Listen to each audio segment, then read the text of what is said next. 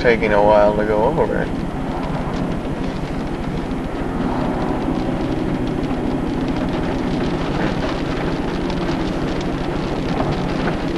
Well, the reason you can't see is because your father doesn't turn on the windshield wipers.